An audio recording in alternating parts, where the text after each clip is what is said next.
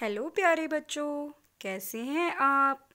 उम्मीद है आप सब सही होंगे और अपने घर में सुरक्षित होंगे।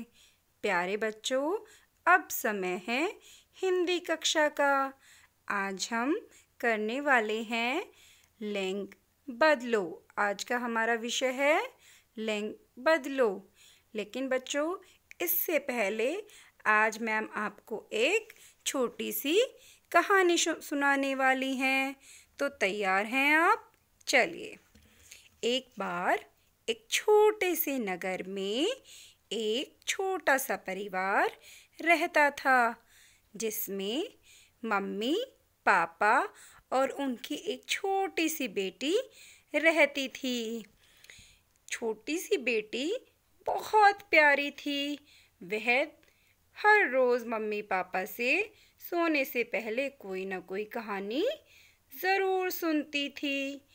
एक रात उसके मम्मी पापा ने उसको एक राजा रानी की कहानी सुनाई। राजा रानी की कहानी सुनाई।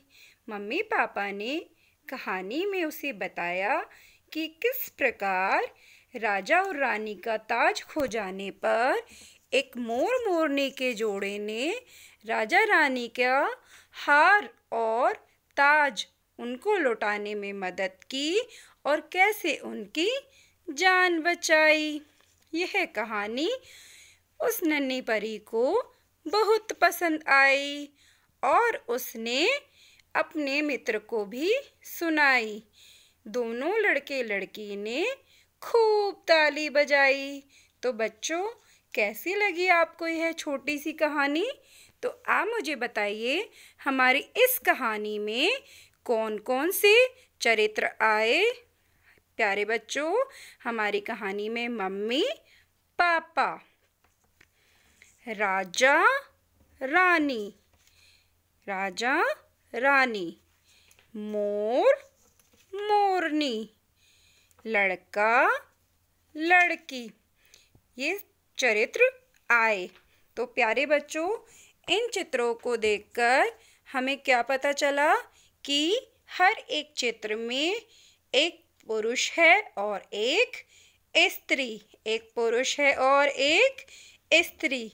बच्चों, आज हम जो विषय करने वाले हैं लिंग बदलो, उसका अर्थ यही है कि लिंग से हमें पता चलता है कि कोई शब्द या कोई इंसान या कोई प्राणी पुरुष है या स्त्री। तो इस प्रकार लिंग दो प्रकार के होते हैं। दो प्रकार के होते हैं। पुल्लिंग और स्त्रीलिंग। पुल्लिंग और इस स्त्रीलिंग। जैसे पहले चित्र में पुल्लिंग है पापा। स्त्रीलिंग है मम्मी। दूसरे चित्र में पुलिंग है राजा। स्त्रीलिंग है रानी। तीसरे चित्र में पुलिंग है मोर। स्त्रीलिंग है मोरनी। चौथे चित्र में पुलिंग है लड़का। स्त्रीलिंग है लड़की। इसी प्रकार हमारे चारों ओर जितने भी प्राणी हैं, वो स्त्रीलिंग है या फिर पुल्लिंग है। तो आओ ऐसे ही हम कुछ और शब्दों का अभ्यास करते हैं। तो आप तैयार हैं मैम के साथ? तो हम करते हैं लिंग बदलों का अभ्यास। शुरू करें। दादा, दादी, भाई, बहन। मामा, मामी, मौसा, मौसी, हाथी, हथिनी, शेर, शेरनी।